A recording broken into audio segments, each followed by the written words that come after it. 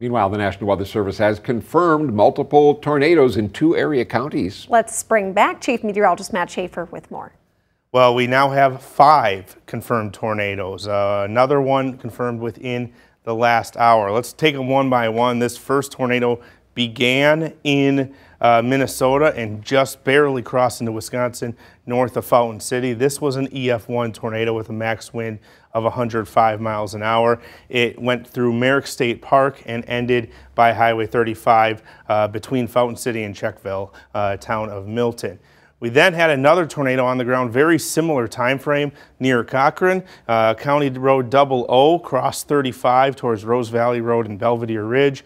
This also an EF1 tornado. Uh, a couple barns and outbuildings destroyed, uh, tree damage including at the golf course. Then we have uh, one east of Arcadia by about five miles. This one was a very short tornado near Burlington Road, but it packed quite a punch.